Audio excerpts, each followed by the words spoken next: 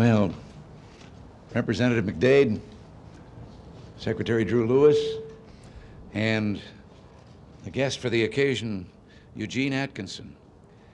I've invited you here today for what I think is an historic occasion to welcome the 193rd and newest Republican member of the House of Representatives, the Honorable Eugene Atkinson of Pennsylvania. Congressman Atkinson is changing his registration from Democrat to Republican. He's undertaken an act of outstanding political courage that symbolizes the beginning of a new coalition and a new era in American politics. As many of you know, Gene and I first became acquainted April 21st when I telephoned him seeking support for the Gramm-Latta budget proposal. And I put on my best pitch on the telephone, and then he said to me, I am fully supportive of your programs. And it was then that I discovered that they had put the call through to him where he was the guest on a talk show on radio, and he was doing this before a live radio audience. And my call having caught him there, since then we've gotten to know each other much better. I've profited immeasurably from Gene's knowledge of the steel industry, which is so vitally important to the working men and women of his 25th district in Pennsylvania.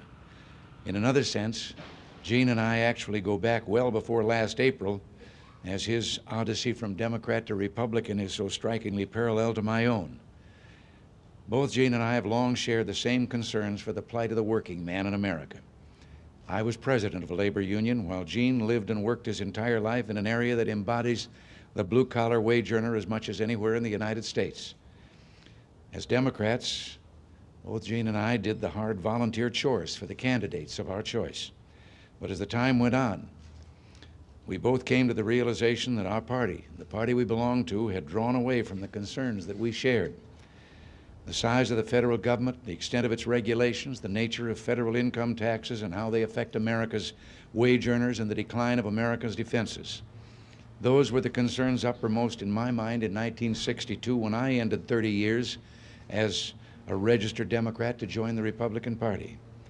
Those are the concerns that have led Gene Atkinson to do so today.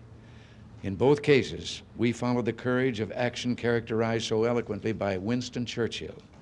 Some men change principle for party, and some men change party for principle. More than any other recent development, I believe that Gene Atkinson's decision will send a loud and clear message to America that our party, the Republican Party, stands for the working men and women of this country. And that's why Gene is here today. And now, Congressman Gene Atkinson, Republican of Pennsylvania.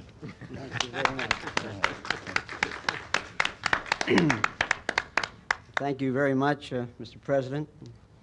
I appreciate your kind words, and I also value the friendships that uh, we've established and what you spoke of here today. I also appreciate the support of my good friend, uh, Secretary Drew Lewis, and my colleague, the chairman of the Pennsylvania delegation, uh, uh Joseph McDade. You know, Mr. President, throughout my uh, 20 years uh, in public life, I've always been a Democrat. I have served as a federal government official, a county commissioner, and now as a United States congressman from the 25th District of Pennsylvania.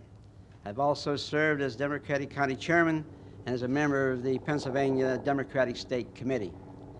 The modern Democratic Party bears no resemblance to the one I proudly joined many years ago, a party that stood for tax cuts and a national defense second to none.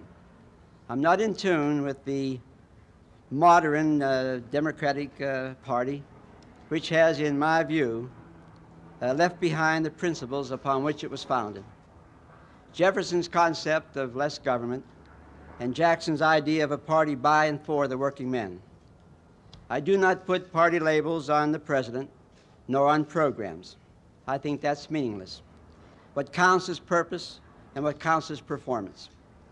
It's encouraging to me, Mr. President, that a true effort is being made to reduce federal spending and curb runaway inflation.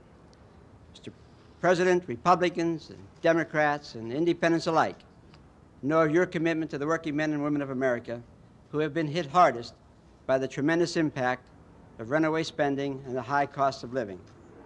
That's why I voted down the line to support the budget programs and the tax cuts contained in your economic recovery program. It's interesting to note that the House Democratic Caucus recently granted amnesty to those congressmen who voted their convictions.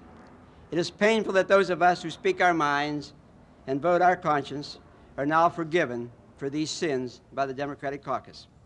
I resent them granting me amnesty and a veiled threat that to continue to vote independently could cause a loss of seniority in committee assignments. How can members of Congress across the nation determine how I should vote?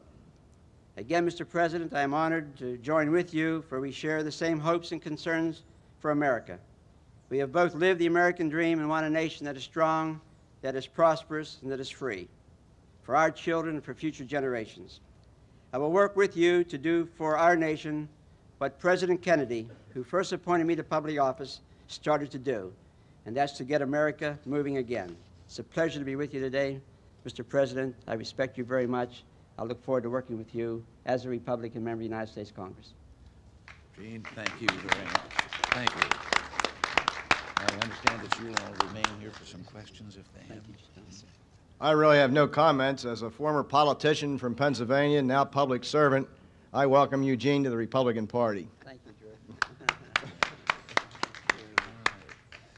Uh, Mr. President, and uh, our newest uh, Republican from Pennsylvania, uh, I certainly want to express my uh, thanks to Gene on behalf of the entire delegation and of the people of the United States. I should say I have a personal reason for thanking him because his switch of voting today makes me chairman of the Pennsylvania delegation rather than ranking member. So we're especially delighted. I've known Gene. Uh, I'm delighted to see his act of courage uh, toward making this nation what we all want it to be more prosperous, stronger, better for the men and women of America who work every day in the factories to make this a great nation. We look forward to working together, and on behalf of the Pennsylvania delegation, we welcome our newest member, Gene Atkinson. Now, do you all, you will have to take some questions?